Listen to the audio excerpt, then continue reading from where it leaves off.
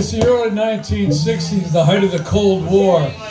I'm in the Navy assigned to a nuclear missile submarine.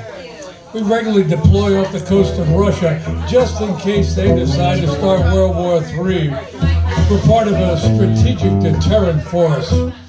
In the event of a missile attack on the United States, we will retaliate by firing our missiles in a brilliantly cynical plan called mutually assured destruction, or MAD. We're not waiting for orders to end the world as we know it. I'm usually hanging out at the bar at the Crown Hotel in Dunoon. It's a resort town on the banks of Holy Loch in Scotland, known mainly for the annual Highland Games, where tall, muscular Scotchmen wearing traditional kilts gather to hurl telephone pole-sized logs great distances. Needless to say, lots of single Scottish school teachers traditionally spend their summers here looking for husbands, a summer fling, or maybe just a peek under those manly kilts. We're the first American servicemen stationed in Scotland since World War II, and we're welcomed like royalty by everybody, especially the young women. I'm in daily competition with my shipmates for the attention of the local girls, but I'm also heavily involved in an unofficial competition for the title of Town Drunk, for which I seem to possess an uncanny natural aptitude. One night I decided to take the ferry to Gourock, about an hour up the loch from Dunoon. I'm working on a good drunk at the first bar I find, and somehow I hook up with Rosie McGee. Rosie's in her late 20s, good looking in a hard kind of way that I like. She looks like she's been around the block a few times. Very petite, with sharp, penetrating eyes.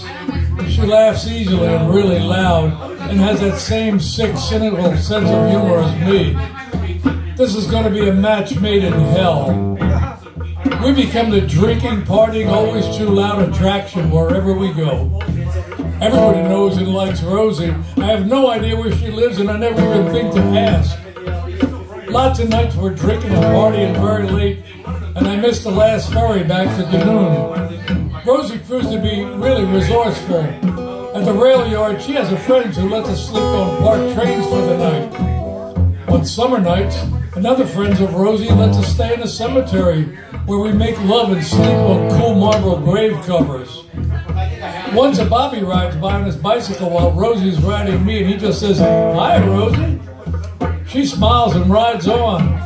She yells back, Hey, Fergus, how's the baby? At that time, I'm more concerned with her wool underpants rubbing hard against my inner thighs and burning like hell.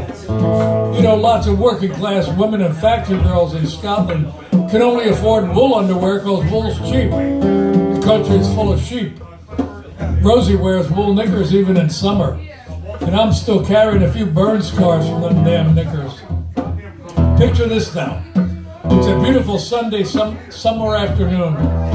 We've been fucking and drinking in the cemetery all night, and now we're strolling along the promenade heading out of town. My arms draped over Rosie's shoulder, her arms around my waist, her hair is up in a beehive, and she's wearing my favorite white polka dot mini dress and high platforms and she's got great legs.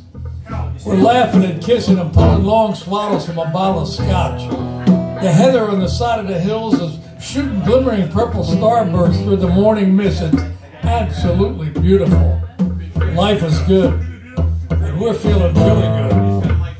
Stop at one of those photo booths in the arcade, you know, where you put a couple shillings in, you pull the curtain, you pose for pictures. Well, we finish off the bottle first put a couple of coins in the machine and take two rounds of pictures. We're feeling kind of frisky and we sneak in a couple of pretty intimate poses in the second set. While we're waiting for the pictures to come out of the machine, we both nod off. When we finally wake up, God knows how much later, we're half undressed and Rosie's beehive is looking like the Leaning Tower of Pisa. We grab the pictures from the machine and we're looking at them First set of pictures, we're hugging and smiling and looking happy. But by the last picture in the second set, how the hell did we get in that position in this booth? What the fuck? Rosie, she looks really old. Her breasts are all saggy and wrinkled, and I look drunk and really stupid. My face is so full of zits, I look like I took a load of buckshot. We need to fix this fast. I, I tear up the pictures, Rosie grabs my hand, and we head for the bar at the Crown Hotel, where we can drink until we look beautiful in that mirror behind the bar.